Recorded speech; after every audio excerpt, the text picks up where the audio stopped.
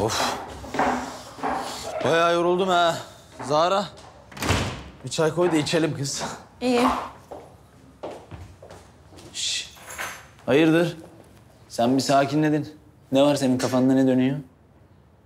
Nehir'i düşünüyorum da kaçırma iyi fikirmiş. Eğer bulunursa bu sefer de ben kaçırırım onu. Sen bu gidişle anca keçileri kaçırırsın deli Zahra. Saçma sapan konuşma kendine gel. Olur mu lan öyle şey? Yo ciddiyim ben. Nehir ortada olmazsa Tarık da bana kalır. Akıl karışmaz. Bak kapı. Halit geldi. 30 saniyeyle kurtardık şansa bak.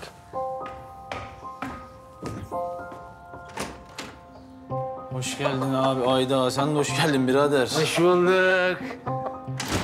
Abi normalde bunun kesilmiş olması gerekmiyor mu? Sen bunu çiğ çiğ getirmişsin. Ya satan adam keserim ama iki kat para isterim dedi. Ben de uyuz oldum oğlum. Aldım geldim. Ha ben zaten kesemem ha. Beni kan tutar. Sen kesersin. Yok abi. Ben de kesemem. Kesersin kesersin. Ya Halit abi kesemem. Ben sivrisinek bile öldüremem abi. Bunu nasıl keseyim ya? Kesersin lan. Sen tut bakayım şunu. Aman Tut. abi.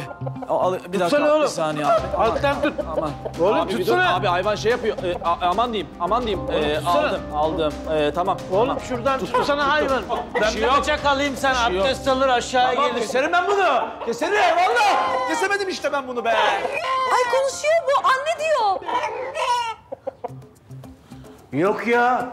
Ötüyor bu normal. Bizim köyde de böyle ötüyor. Yok yok e, Dıplık abi, e, Halit abi yani şey e, horoz doğru... Aman Zahra doğru söylüyor. Horoz konuştu ya bayağı bildiğin anne dedi bu horoz yani şimdi. Ay, işte anne dedi. Ya saçmalamayın. Horoz konuşur mu lan? Öyle anneciğim. Şşş, canım anneciğim. Gel oğlum buraya. Şşt, gel lan keseceğiz seni. Abi çok şey yapmasak mı acaba? Ha, ne? Ya bırak. Aman. Aman Bırak. oğlum. Kestirmem ben onu. Bırak ya da bir daha yüzüme bakamazsın. Tamam gülüm öyle diyorsan. Korktun mu? Ay kıyamam ben sana. Ya Ay aç mısın? Yakışıklı. yakışıklı mı? Lan horoz kadar kıymetimiz yok be.